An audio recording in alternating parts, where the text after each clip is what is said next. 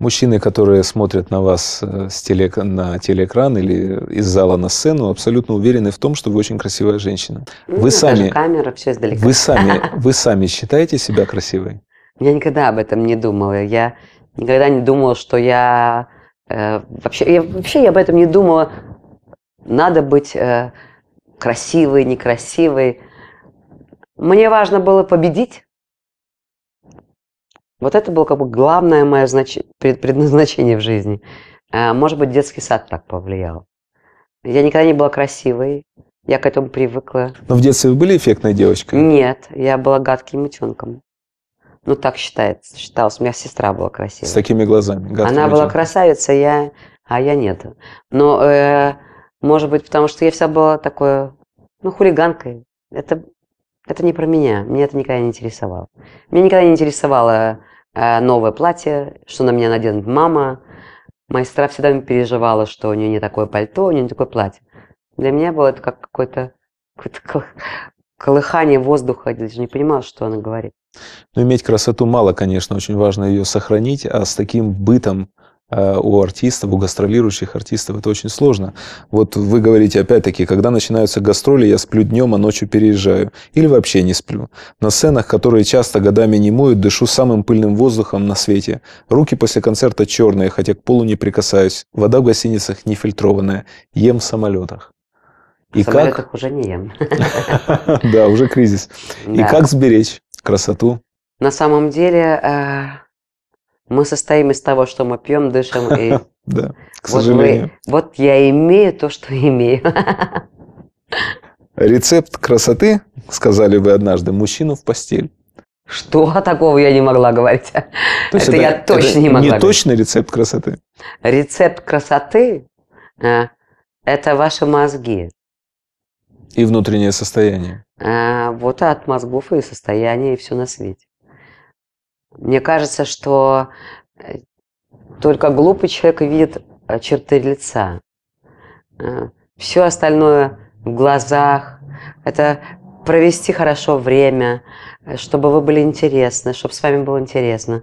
Это, конечно, как бы... Как это будет по-русски? Как это по-русски? Это гигиена. Да. Так можно сказать. Вот, Запах вот, и все остальное. Вот красота. Быть аккуратным, просто человеком. И не быть дураком, мне кажется, очень важно. Вы не скрываете, что вам 55 лет. В отличие от многих э, женщин, да не просто коллег по цеху, просто женщин. А потому что эта страна такая. Правильно скрывает. А, когда я в Америке говорила, что женщина выглядит настолько, насколько она выглядит, а, мужчине, а женщине столько лет, сколько, насколько она выглядит, она говорит, Лайма, а разве в этом есть какая-то проблема?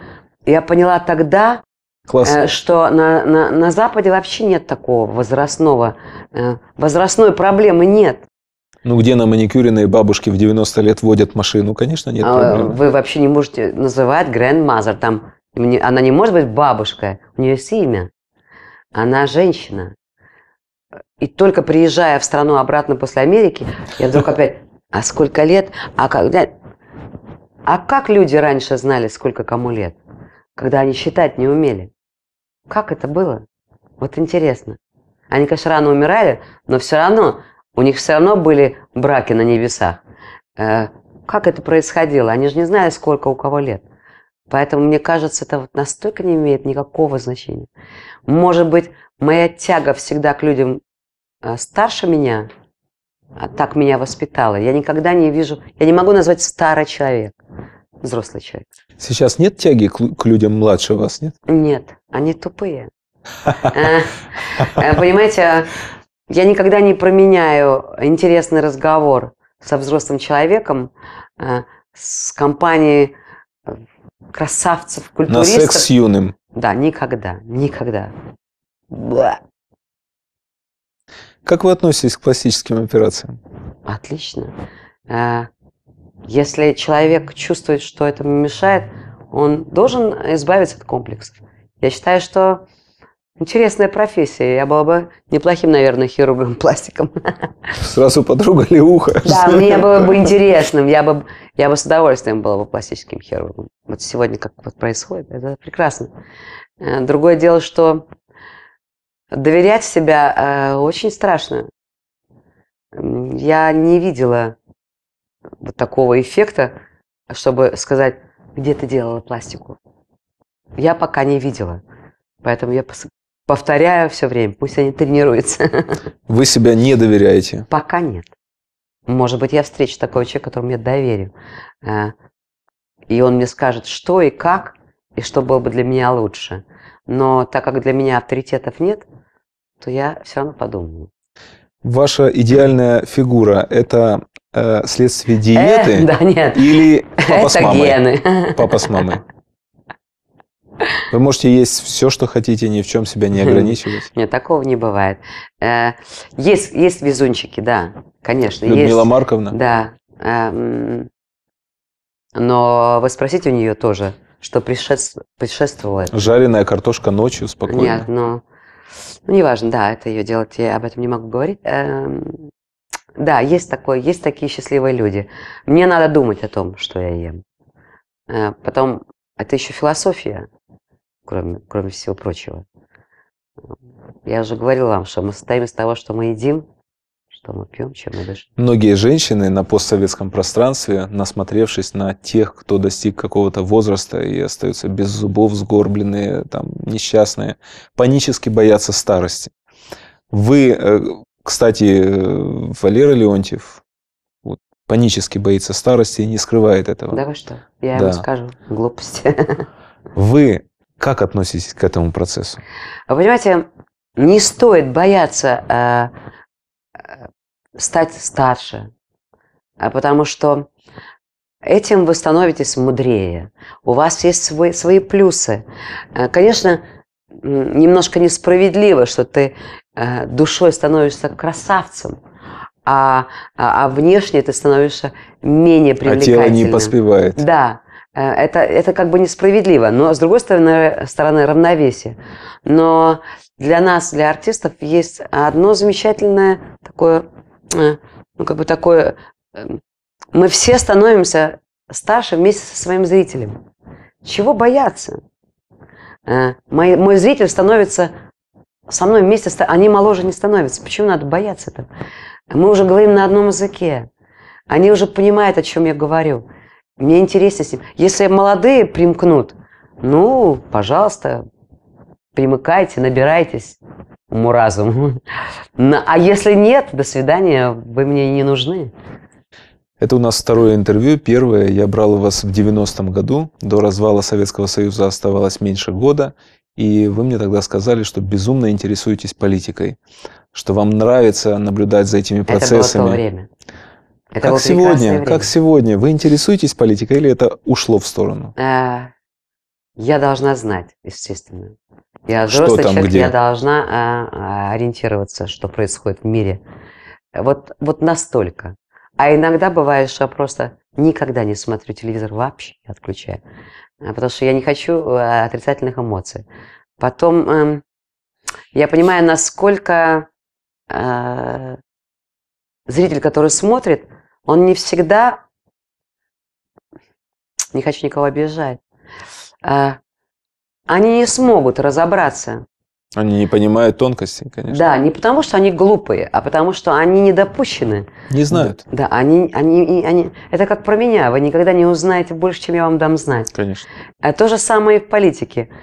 А, Политика настолько серьезная вещь, настолько глубокая, и настолько там много подводных и не самых э, чистых течений, что говорить вот этот политики, вот этого я люблю, а этого я не люблю, это большая ошибка. Я помню, как когда-то э, я должна была участвовать э, в предвы- в предвыборной кампании, неважно кого, эм, И я уже окрыленная, что сейчас я еще какую-то песню хотел. И пришла к такому э, автору э, текстов, э, поэт Патрушев, есть такой Сережа в Москве. Не он... путать с директором ФСБ бывшим, да? Нет, нет. Тоже Патрушев. Нет, это не он. Может, это какой-то родственник, но полная противоположность. И он в это время голодал. Я помню, я пришла к нему, и все было темно. И я говорю, вот я должна сейчас выступить на этом концерте в поддержку.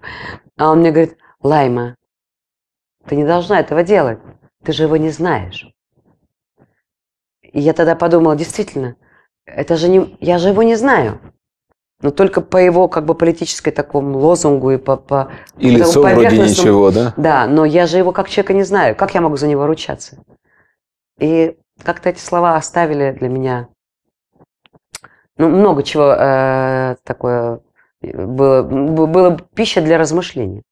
Все эти 19 лет э, после развала Советского Союза, особенно из России в адрес Украины, Грузии и других бывших республик э, летят такие, несутся голоса, эх, вы, плохо вам было в Советском Союзе, вот теперь там как вы там выживаете? Как выживает Латвия? Латвия выиграла от того, что вышла из состава Советского Союза? Понимаете, как смешно говорить. Эх вы. Это такое ощущение, как будто Боженька сидит на небесах и говорит, эх вы, ребятки, ну как? ни вы, ни я, ни кто-либо еще. Это опять-таки стечение обстоятельств, которые пришло время, и оно случилось. И никто в этом не виноват, и, и как бы ни, и никто, э, и никто это не создал. Так случилось. Мне кажется, самое ужасное, что может быть, это оглядываться назад. Конечно, я счастлива, что это случилось. Я обожаю Горбачева. Я каждый Новый Правда? год э, да. поднимаю тост, э, за, рюмку, э, говорю тост за Горбачева, потому что он дал мне свободу. Нет ничего дороже, чем свобода. Это не понимают люди. Э, Я вас понимаю очень хорошо. Да, Я вот тоже его обожаю. Для того, чтобы надо еще раз туда, бонусы получить, туда. и чтобы вспомнить, да, мы были равные, у нас ни у кого ничего не было. Мы не могли мечтать о том, чтобы э, поехать и посмотреть, э, там, не знаю, как выглядит э, там водопад в, в Канаде или как выглядит э, джунгли. Да как Болгария выглядит, Когда, нельзя было да, посмотреть. Да. Мы, мы были как зверьки. В очередях. Еще э, до сегодняшнего дня нашего человека за границей видно. Он напуганный, он всего боится. Вот мы привыкли так. И поэтому вот эта свобода, это прекрасное чувство. Мне кажется, посмотрите на наших, на ваших, на ваших, на ваших детей, на внуков. Они знают свои права, они свободны, они, э, они знают языки, они люди мира. Это такое счастье, вот чтобы не быть такому, нет, нельзя, нельзя, ты не прав, ты не соображаешь, тебе нельзя. Вот это ужасно. Не зря в японском языке нет слова «нет». Понимаете, э, поэтому и для, для тех, кому сегодня хуже, я хочу сказать, что никто не виноват, не ищите виновных, вернуть нельзя. И нет смысла смотреть назад, надо смотреть вперед, что я могу сегодня сделать. Э, идти с камнями, как у нас в Риге там кидали камни, э, зачем разрушать? Вообще, что за инстинкт разрушения? Да, протестуйте, но без, без, без камней. Я за, за цивилизованный такой протест. Конечно, хорошо, если молодые люди участвуют в, в какой-то жизни, политической, что ли, ну, настолько, насколько они могут, насколько они понимают и знают, э, потому что это их будущее. У вас не, не возникает в Латвии проблем из-за того, что вы работаете в России? Никто из э, националистически озабоченных ребят не говорит, вот, мол, продалась русским? У меня нет. Потому что я вам как-то вначале сказала, человека можно обидеть настолько, насколько он обижается. Им не интересно со мной э, об этом говорить, потому что э, я, я не раб. Я выступал до того, как развалился э, Советский Союз во, во всех сегодня уже странах. Тогда это были наши республики. И после того, как политическая как бы, э, платформа поменялась, я не собираюсь предавать ни свою публику, ни своих друзей. Ни свою родину. Э, у, меня, у меня нет такого чувства. Я, я с глубоким уважением отношусь к России, к Украине, к Казахстану, к Узбекистану, э, к, к, э, к Аджарии, к Абхазии, э, не знаю, ко всем. Потому что это было... Я там везде бывала. И там публика была, я там пела везде. И, конечно, я буду волноваться о том, что там, э, там прорвало, не знаю, трубу, там, э, там случилась какая-то авария. Неважно, в Грузии это, на Украине, в России или в Прибалтике. Но это правда, что вам в Латвии кто-то сказал, что вы являетесь агентом то России, то Америки, то Израиля? Да, был один сумасшедший. Он сейчас, между прочим, в Думе. А, далеко пошел. Естественно, далеко. Широко шагает Азербайджан. Был такой, как, как Была надпись «Широко шагаешь, знаете, штаны порвешь» да, к этому плакату. Это, это у вас, может? В Азербайджане. Ну, это, может, уже потом да. остроумные ребята написали. Но долгое время в советское было именно то, что я говорю. Был один э, такой сумасшедший, который пришел, написал статью, что Лайма агент э, Израиля, Америки и, и России. Тройной. Ну, Матахай, да, такая конченая.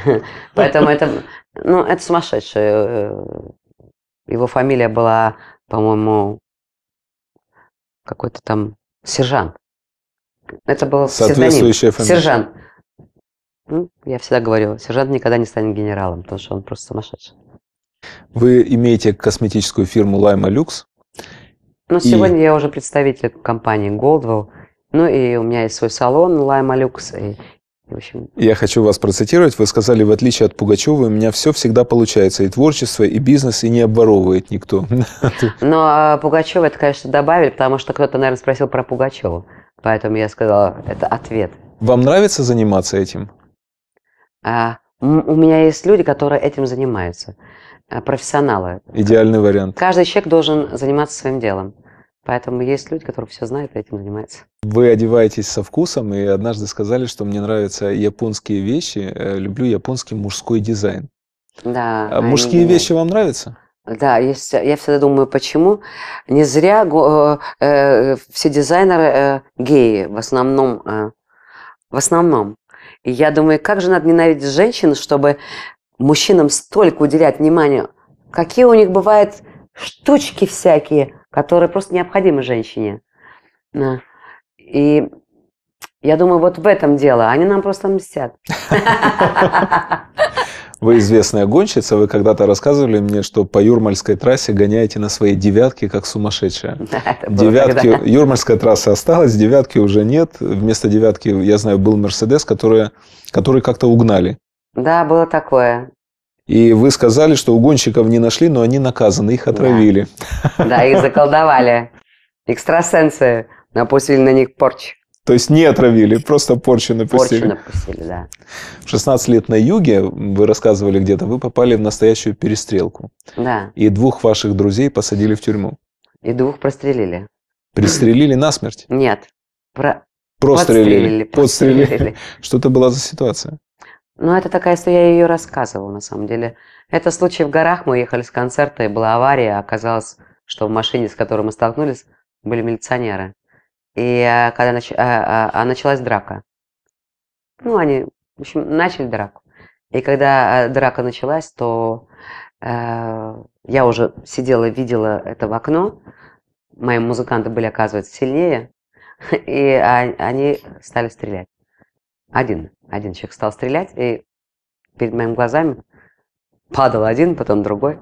Как, как в кино, да? Да.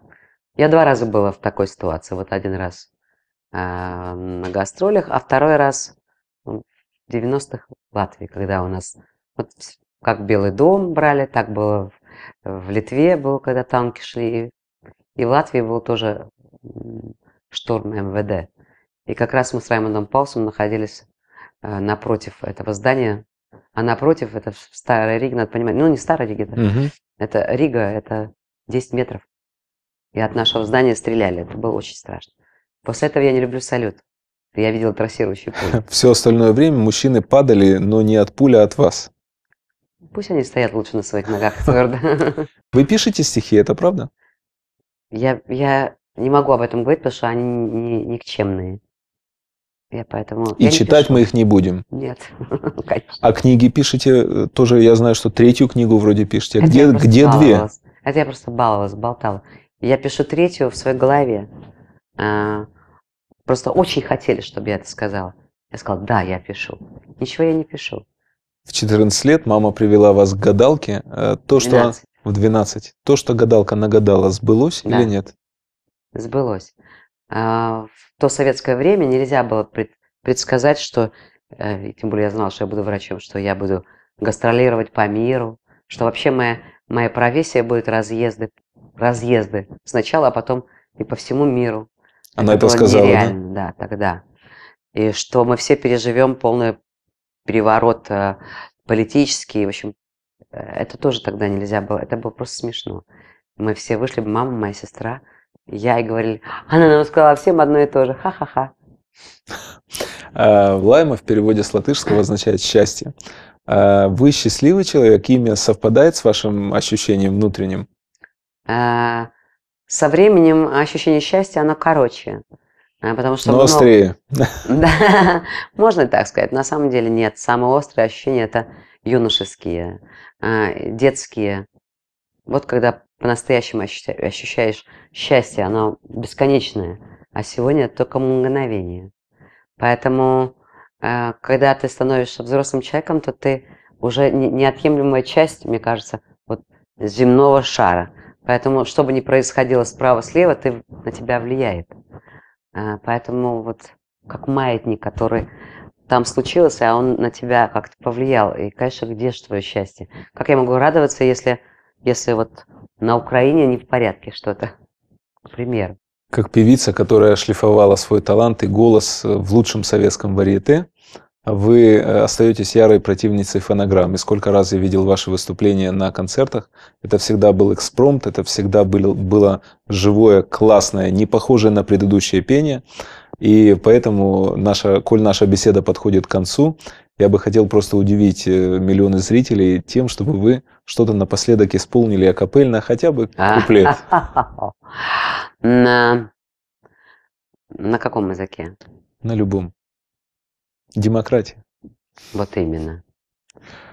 Весна kun aiziet tālumā, Весна kun aiziet tālumā, Весна tālumā, Un sākas viss no gala. Это поется о том, что все приходит и уходит вдаль. А потом начинается опять все сначала.